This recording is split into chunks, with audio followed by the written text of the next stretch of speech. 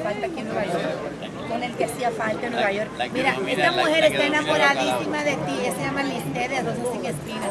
Mándale un saludo. Como que hice de rosas sin espinas, todo ese nombre. Sí, Rosas Sin Espinas es el website de ella. Mándale un saludo, mándale un saludo. Bueno, este, Licer Rosas sin espinas. Punto com para ti, baby. com, Te adoro, te amo, este, te sigo. Estoy Ojalá- loco porque me des con el látigo de... de, de, ¿Ah, de- sí? sí. Ojalá que algún día una de esas espinas me pique. Uy, cógelo ahí, mi amor. Guárdame eso ahí. bueno, mira, comenzamos con el que hacía falta. ¿Cómo te sientes de estar en la inauguración de este restaurante? Ser el que va a inaugurar este restaurante junto con tu amiguísima Ana Brenda. Contento, contentísimo de primero estar en Nueva York, que es una ciudad que quiero muchísimo, eh, compartiendo con la colonia dominicana, los latinos de aquí de Nueva York, que somos muchísimos, con los que me siento sumamente identificado. Y bueno, siempre es un honor eh, como que apadrinar o echarle la bendición a, a- a negocios nuevos, ¿no? Así que para mí contentísimo, también muy contento de estén aquí conmigo y, y pasar, a pasarla bien. Creo que Claro. más que nada a pasarla bien y echarle la bendición.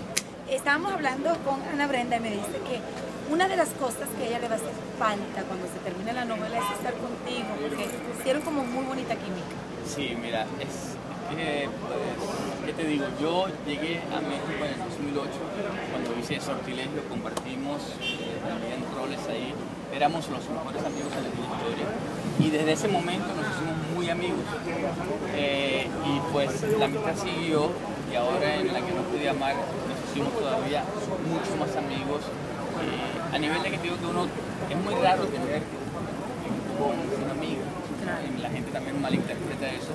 Y yo te podría decir que no tengo muchas amigas, pero de las pocas, de las pocas que tengo, Ana Brenda es una de ellas. La adoro, es una chica eh, eh, a la que yo le puedo contar todo. Yo sé muchas cosas de ella, ella sabe muchas cosas mías. Y, y hay una amistad muy linda. Hay una amistad muy linda que yo te la podría eh, comparar con una de las, de las amistades más lindas que yo tengo en mi vida. Oye, hablando de amigas o amiguitas o novias, ¿dónde dejaste a Dana? En Dana está en México, eh, no pudo venir, estuvo invitada, pero justo hoy empezó ella con sus lecturas, sus trabajos de, Pero sí de son mesa, novios, eh, sus trabajos de mesa eh, para Qué Bonito Amor, que es su próximo proyecto con Gustavo Mejía. Este, va a estar ahí con Jorge Salinas, Pablo Montero, bueno, un elencazo que están armando, y por eso no pudo venir porque hoy arrancaron a, a trabajar. Oye, estábamos haciendo una encuesta con los algunos famosos referente al, al toile de Jennifer López, que ha dado muchísimo de qué hablar. ¿Tú sabes lo que estoy hablando? Sí, creo que leí que ella lo lleva mi amor, esa diamante, perlas, rubíes y toda esa cosa. ¿Alguna vez tú harías una cosa así tan excéntrica? Pues igual le vas a salpicar. ¿Cuál es la diferencia de este toile que no tiene el toile de tu casa? Nada, igual le va a salpicar, o sea, que a ver, a, ver si los rubíes o los, diamantes le van a proteger cuando salpique, o sea, no, no me hace ningún tipo de sentido, pero bueno, cada quien con su historia, ¿no? Cada quien con su historia, yo la respeto, este, me gustaría de repente sentarme algún día en ese toilet para ver qué se siente, Eh, no sé, no sé, me parece una cuestión un poco excéntrica, pero cada quien con su historia. Mi amor, yo te deseo muchos éxitos, mucha suerte. Eh, entrando a El Sol, al Sol. Este para cuando este, ¿Cuál fue la parte que más te gustó, la que menos te gustó? Ya es un terminó, especial. ya terminó. Sí, sí, yo sé. Pero aquí no. Aquí no. No, ya no, ¿Tú quieres grabar esto para cuando Para haya cuando termine los Estados Unidos. La parte que menos te gustó. Bueno, la parte que menos me gustó de la que no pude amar, como pudieron ver, pues fue maltrato y la manera en que me dieron cariño en la cárcel. Me tocaba, ¿no? Y la parte que más me gustó fue, sinceramente, el tener la oportunidad de poder interpretar un gran personaje, un gran elenco y sobre todo el apoyo del público. Pero claro, el castigo, nada que ver. ¿Cómo te llevaste eh, con Juan Salinas y con el resto elenco? Con Jorge increíble, eh, hice una amistad muy especial. Eh, no, no tenía la oportunidad de, ni de trabajar ni de, conocer con, ni de conocerlo, pero hicimos una química muy bonita. Yo pues, hacía mancuerna con él casi diario, era con quien más trabajaba porque era su mejor amigo, era su abogado, era su consejero, era su traicionero. Entonces eh, hubo una amistad sincera y bonita que todavía existe.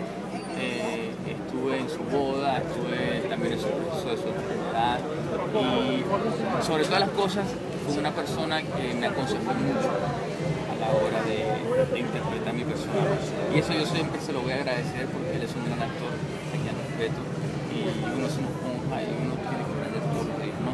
Y él tuvo la humildad de, de aconsejarme porque otro no te dice nada y que cada quien haga su trabajo. Y, y para mí eso vale mucho, ¿no? esa, esa sinceridad y esa humildad de Jorge a la hora de, de apoyarme eh, en la estructura de mi personaje, pues para mí vale mucho. ¿En qué se identifica la, el personaje tuyo en la novela a tu persona? Eh, te diría que en lo luchador, ¿Qué pasa el desgraciado? que pasa el desgraciado. Yo, a mí no me gusta hablar de mí, pero sí te puedo decir que, que- que soy un luchador. Y Bruno Rey, haciendo las cosas bien o mal, siempre demostró que es un luchador, que quería recuperar lo que era de él.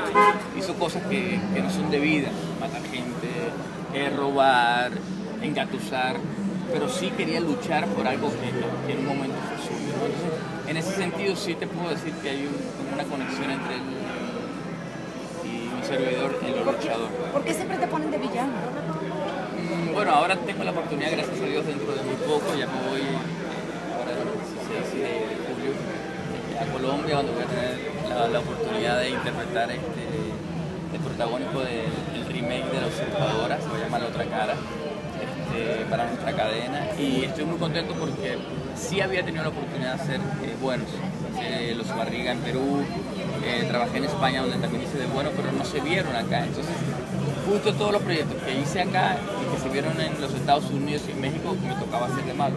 Los que hacía de bueno no se veían. Pero ahora sí tengo un gran personaje, una gran historia y voy a hacer de bueno. Así que espero que les guste. Gracias.